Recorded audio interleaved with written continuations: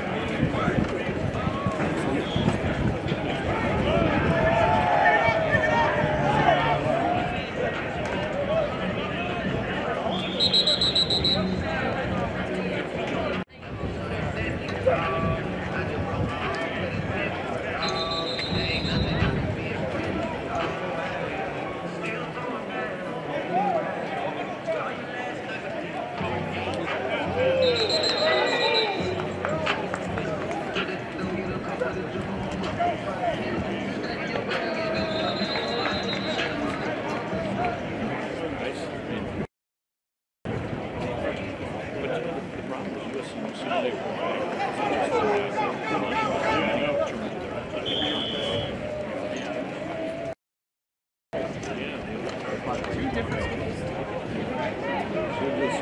schools.